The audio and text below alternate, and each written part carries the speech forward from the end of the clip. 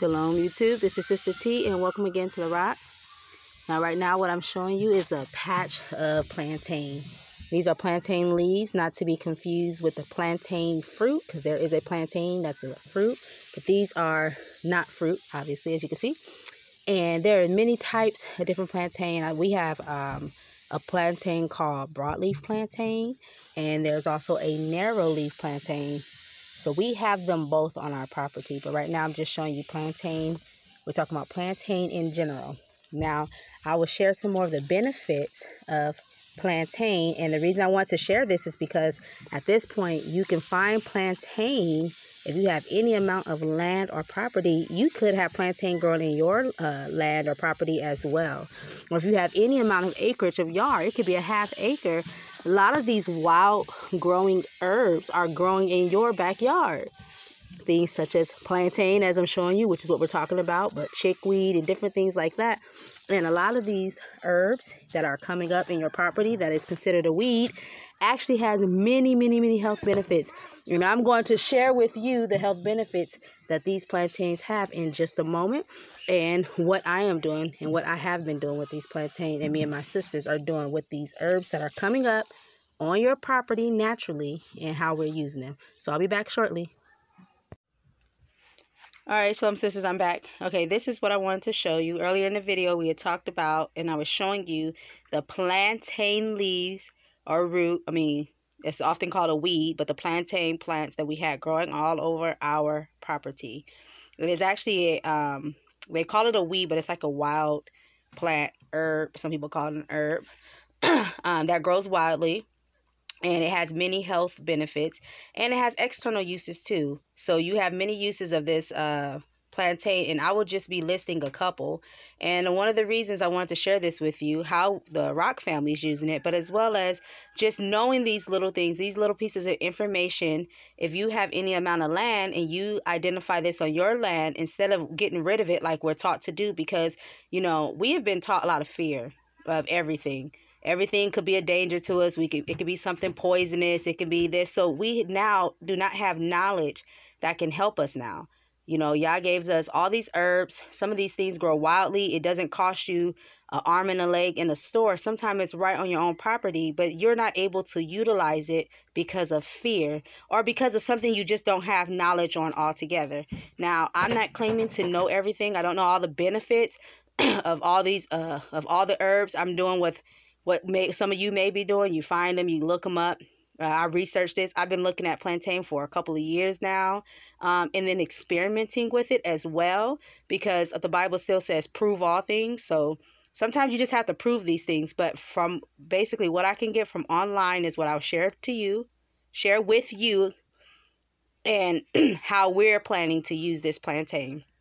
Um, also, another thing you know, it's often comp- uh, compared to dandelion because nowadays dandelion grows everywhere. And dandelion, if in, if you haven't looked it up already, you can look it up. But dandelion is actually very healthy, something that you should probably consume as often as possible. Hint, hint to myself, um, that you should consume as often as possible. And dandelion, you know, it is a, it's it's kind of hot. You know, it's more of a bitter herb, but you can throw it in a salad. You can drink it in a tea.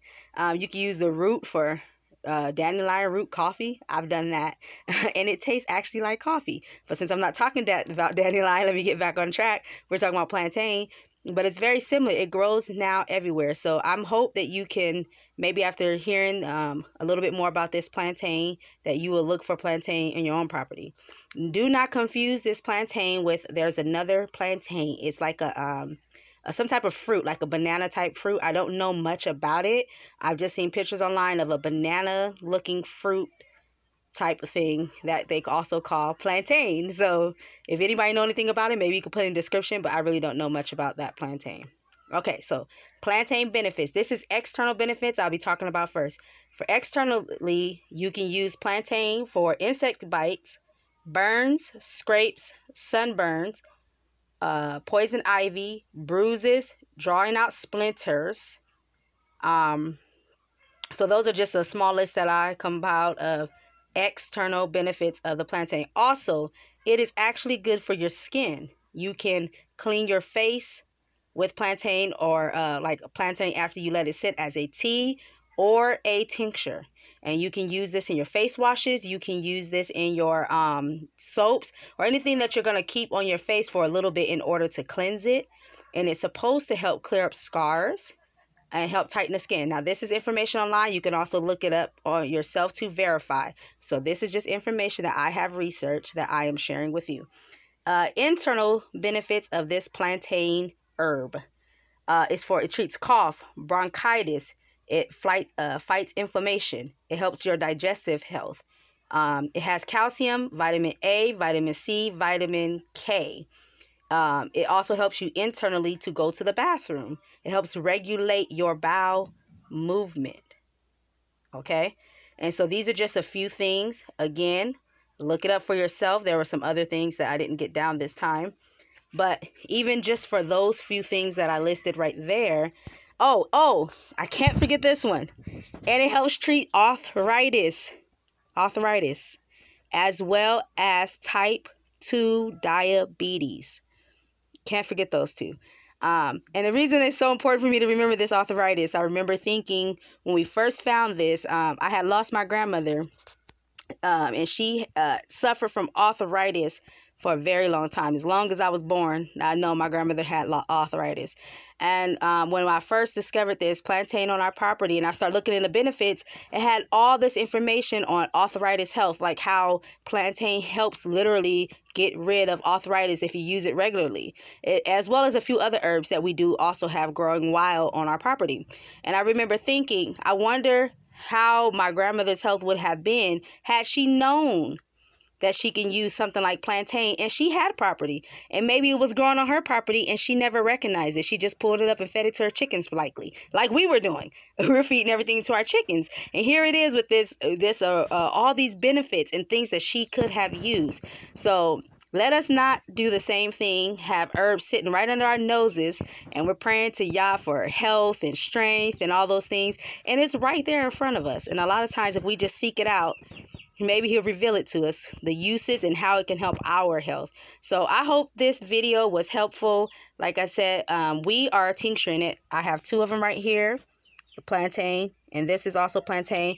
This tincture i just put in a video just because i just recently did this one as well and it's a chickweed tincture. And there are so many benefits even to chickweed. And you know what we were doing? We were giving all the chickweeds to our chickens but actually you can use it as well to um, improve your health. So do not throw away plants that you believe are weeds. Please look into them and see how you can use them. We're going to be using this plantain uh, for a tincture because, see, I'm already forgetting the information. It also helps with asthma and bronchitis and it helps with your lung health. So we want to use it in our family for those things because we do have um, asthma, um, and we have uh, other things that we can use this for. I mean, diabetes run in my family, arthritis runs in my family. So we're not just using it to treat ailments, but we want to do preventative uh, work as well.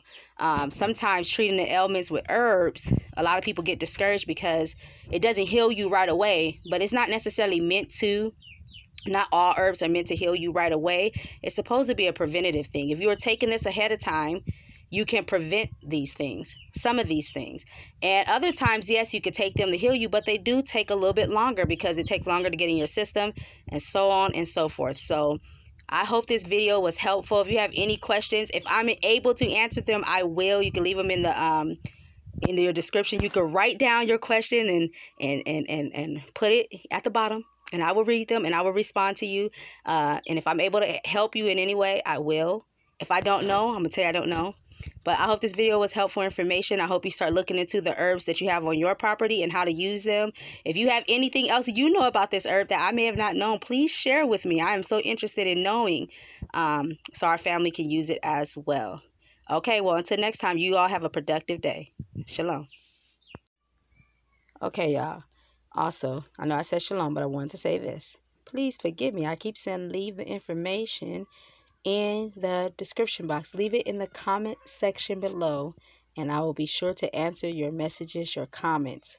Please leave any information you have or any questions you have in the comment section. I keep saying leave it in the description box. Y'all have to forgive me, sisters. But anyways, that's all I have for you today. Shalom and bless you.